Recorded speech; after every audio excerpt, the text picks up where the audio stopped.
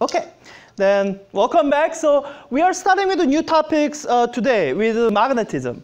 And magnetism is a little bit weird. In some sense, you guys have more familiarity with the magnet, magnet.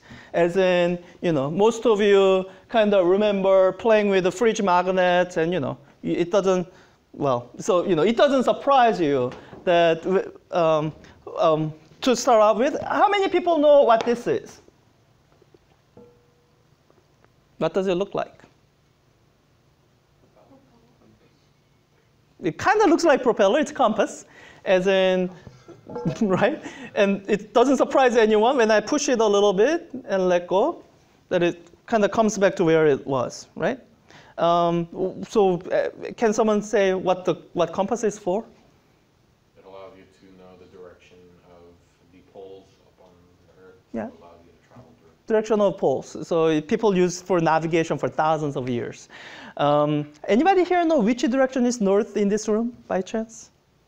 That way? Okay, so this must be the North Pole. Um, and No, north is out. what? Because that's the Bay Area, the Bay is here. So Let's see. I'm trying to imagine the map. So Science Annex is here. The campus is to the west of Science Annex, right? So north. Okay, so the blue end must be north. And you know, it doesn't surprise anyone that when you see this thing suddenly moving around, you don't think I'm, you know, performing magic tricks or anything. Um, so you know, magnetism, in some sense, you are already familiar with it. And you know, when I take this bar magnet, which already has north and south label, so we figured the blue end must be north, and it yeah repels from north, attracts to south, or south and repels from south. All of this sounds seems familiar to you, right? So um, I say magnetism is weird because. Uh, so let me, by the way, pass this around. Um, I'm gonna pass one more thing around, but figured, why do I get? I, sorry, I don't know what else you would do with it here. Let me send around another magnet with it. Here's the neodymium magnet to go with it, so that you have something to do with. I don't know. So you know, in some sense, you're already familiar with all this stuff already. Um, and this picture is something that uh, illustrates something that many of you have probably seen. So let me bring up the camera. Oops, here. So what this uh, overhead camera is showing right now is just, um, so these are just the array of tiny compasses that you have seen. And when I bring this uh, bar magnet around, what you're able to see is that the bar magnet affects the direction of these tiny compasses as I move it around. And if I put this in the center, does the, this picture look familiar? Like you have seen before? Yeah, you have, uh, many of you have seen this even before we did any electricity. And you know, it kind of resembles the electric dipole field, but um, as we mentioned when we were doing electric dipole, you have kind of seen this before? So, um, yeah, so, you know, in, in this sense, a lot of uh, um, a lot of the introductory material for magnetism, it's something that you have seen before just by nature of um, having gone through education in the 20th or 21st century. And, um, it, you know, none of this is new. And let me just do one last thing. This is one of the demos I found in the closet, and it's kind of cool demo. I'll pass this one around. This is the cool one that, um, I mean, it's something that you can imagine, but you maybe not have seen. Um, so this illustrates electric uh, or magnetic field in two dimensions. It kind of looks like electric field you have seen before. This can be used to illustrate magnetic field in three dimensions because it's a solid three-dimensional object. I can try to show it to you on the overhead thing, but it's not as impressive there as to seeing it yourself. So first you have to shake it to distribute the iron filing um, evenly around. Once it's down there, oops, uh, then um, what I have to do is before they settle under gravity, I have to kind of put this in the middle. And you can maybe see, I don't know, this is why I thought it would. Can you kind of see the iron filings uh, gathering into uh, the dipole field pattern? And because this is 3D, if you kind of turn it around, then you can see um, what the uh, magnetic field looks like in three-dimensional shape. So let me pass this around. Um, the way I recommend you do it is, you know, first to shake it. Um, you have to evenly distribute the iron filing. It'll settle into the, you know, pictures that don't look as good. And then, you know, put in this magnet in here and see sort of the kind of shape that forms. So it's a fun demo. I have it, so um, might as well make some use out of it. Um, so, you know, all of this you have seen before. Nothing here is all that surprising. So uh, let's uh, start out with some um, definition of terms that, um, that you know, we are going to be using. So we should, um, we should define them so that I can make sure everyone knows what I'm talking about when I do that. Didn't break anything, right? It's just a needle. It'll come off and on. So let me just write down some magnetism terms. So the, I guess the term I want to start out with is uh, magnetic field.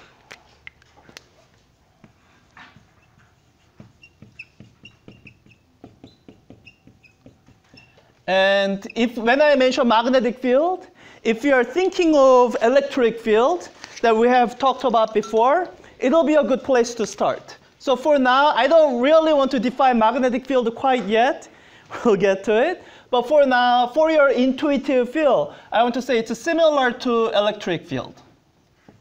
So uh, let's start out with just the magnet. If you are talking about, if you are talking about, you know, that this magnetic field interacts with magnet. When I talk about magnets, what do you imagine in your head? Like, wait, where's my bar magnet? Oh, okay. The bar magnet that KD is holding, is that more or less what you imagine when I talk about magnet? Right? So when you have a magnet, it has, um, so it has two poles. It has north pole and South Pole. So it has these two poles. And I guess there's a reason we call them poles instead of, um, you know, instead of using the same word we use it in electricity. In electricity, you know, we would have, so let me draw the, the analogous version in electricity in, when we were dealing with electricity, we had electric dipole, right? And when we had the electric dipole, we had a positive charge and negative charge at the you know two ends. And in a dipole configuration, we would talk about how far they are separated, and this whole thing combined as a whole would be an electric dipole. But except when you are you know referring to this particular combination, we would call this object electric charge. So um, the question is, you know, why do we use a different word for this? Why do we simply not say it's north charge and south charge? Like, how is, in other words, uh, how is magnetism different from um, electricity in one key way? This is something I hope you already know. I mean, just to, know, I'm just trying to highlight it. But magnetism is different from electricity in one key way. South pole attracts the North Pole. Now, here's something you might have seen as a child playing with a magnet. So this magnet is actually broken. I keep trying to hold it as one piece, but it is broken. When you break the magnet, now I, so I have a North Pole, and I want to use this North Pole to um, um, attract or repel the North Pole there. And when I try that, this is what I get. It actually attracts. What happened? I mean, I'm holding the North Pole, but why is North Pole attracting the North Pole instead of repelling it? Yeah, this end is still the North Pole, and the bottom is actually now a South Pole. So I, if, you know, if I make sure to bring the top end closer, then that'll repel the uh, North Pole. But if I turn it around and bring the other end, this is actually South Pole now. Like everyone knows this, right? This, I'm not telling you anything you don't already know. Yeah, I won't ask because I don't. I'm not trying to embarrass people. But if you didn't know, then you should know that um, when you. So you know, there's something funny going on with the magnets that wasn't with the electric dipole. So with the magnets, if you imagine breaking up into two pieces, then there's north and south, and north and south within the material. So you know, I was asking why do they do we call them poles rather than charges? One of the reasons would be this is how you always see magnet. You never see North Pole by itself. You never see South Pole by itself.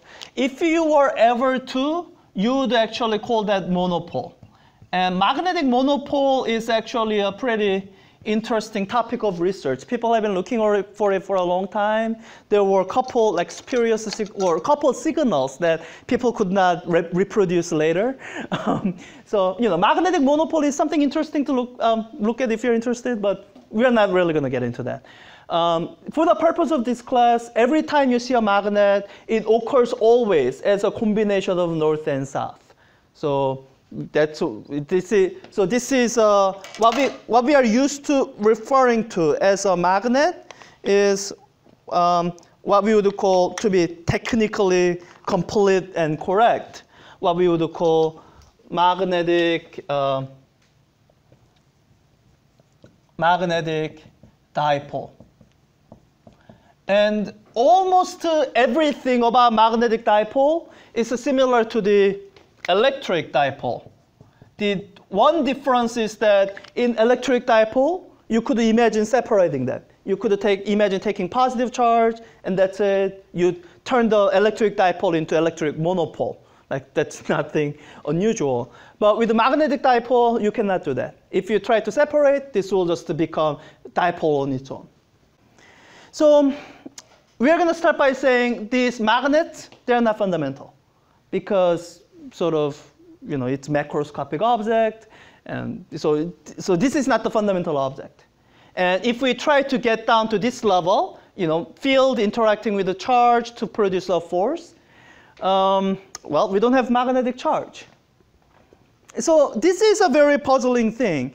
And um, unless here, someone here happens to know the answer, what's the elementary object in nature that does interact with the magnetic field? Yes, no? So I will um, reenact one of the experiments that were done in the, I guess, uh, early 19th century. It's a, uh, I have to imagine it was an accidental discovery. Actually, the accidental discovery it happened the other way. People were observing the interaction with magnets with this other thing, but I, I don't really have the tools to demonstrate that. So I'm going to uh, demonstrate the flip side of that interaction, where you have a strong magnet already, and some some um, something that you can describe as in terms of some fundamental object, elementary object, interacts with this magnet. So right now I have this magnet here, and um, let me move this camera so that you can see it better. Um, um, this is just some setup I have uh, with the wires and whatnot. So when I move this magnet around, you don't see any interaction with this wire, right? And does that sound like that's what you would expect? Yes? Yeah, wires made out of copper. Um, key thing is that it's not ferromagnetic. I forget if it's diamagnetic or paramagnetic, but whatever it is, it's a very weak interaction. That's why you are not seeing any force. When I move this, you don't really see any interaction here. Now, so that's true of copper wire and just a magnet. But what happens is, let me turn on this power supply. Um, can everyone read that it's uh, um, outputting zero current? Right? So what I have here is I have wire, the black wire here connected to the negative terminal. And I have this red wire connected to the positive terminal. And um, I have this end open so that I can briefly touch it to let current flow. So let's see what happens. Oh, maybe I moved the wire. Hmm. Oh, that's why I taped it down here. I want you to make sure that I don't accidentally move the wire. Let me just uh, tape it down one more time to make sure that when I'm touching that end, you have some reasonable assurance that that's not what's moving the wire. So, all right, tape it down one more time. So you know, even though I'm moving this, okay, that shouldn't move the other end. All right. Now, let me touch this and so I guess you can you can't really see it in the camera, but when you look at the screen, you will see this portion of the wire suddenly move. Then that matches with when the current starts to flow. Like you know, that number it goes from zero to three. That's sort of the maximum current my power supply can provide. So when it has zero current, nothing happens. When the current starts to flow, then the wire suddenly moves. And what's more fun is I can change the directions. So, so let me take this magnet and turn it around. So, oh, I don't know which end is North Pole. Probably should have figured that out. Does it, is it moving in the same direction it did the last time? No, it's moving the other way, right? So, um, so, so any guesses, um, how would you describe the elementary object in nature that interacts with this magnetic field that's coming out of this uh, magnet? Electrons. The electric charges are somehow interacting with this magnet. Now, it doesn't interact all the time, as you can see. Right now, it's not interacting. It's not doing anything. It interacts only under certain circumstances.